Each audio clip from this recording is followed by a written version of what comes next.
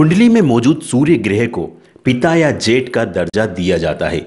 जिस जातक की कुंडली में सूर्य की स्थिति सही ना हो या उनका ताप अधिक हो तो उसे सूर्य को जल चढ़ाने की सलाह दी जाती है ताकि उनकी शांति हो सके।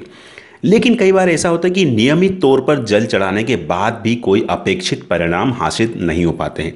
इन हालातों में इन उपायों से विश्वास उठने लगता है, जो कि किसी भी रूप में सही नहीं है।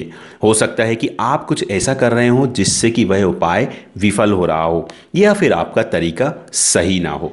सूर्यदेव को जल चढ़ाने का सबसे पहला नियम यह है कि उन्हें सुबह आठ बजे से पहले ही अर्घ्य दे देना चाहिए। नियमित क्रियाओं से मुक्त होकर और स्नान करने के बाद ऐसा किया जाना चाहिए। सूर्य को जल देने के लिए शीशे, प्लास्टिक, चांदी आदि किसी भी धातु के बर्तन का प्रयोग नहीं करना चाहिए। सूर्य को जल देते समय केवल तांबे के पात्र का ही प्रयोग करना चाहिए। सूर्य को जल चढ़ाने से अन्य ग्रह भी मज़बूत होते हैं। कुछ लोग सूर्य को अर्घ्य देते समय जल में गुड़ या चावल भी मिला लेते हैं। सूर्य को जल देते समय आपका मुख पूर्व दिशा की ओर होना चाहिए।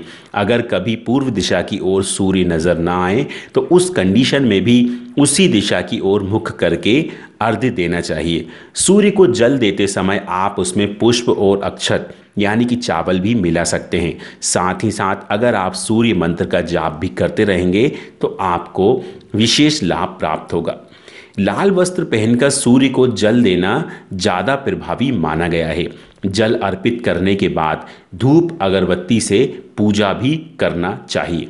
तो इस तरह से हमने आपको बताया कि अगर आप सूर्य को अर्घ्य देते समय ये गलतियाँ करेंगे या ये इस तरह की सावधानी बरतेंगे तो आपको अपेक्षित फल मिलेगा और आपको इन सब नियमों का ध्यान रखना चाहिए, नहीं तो आपको नुकसान हो सकता है।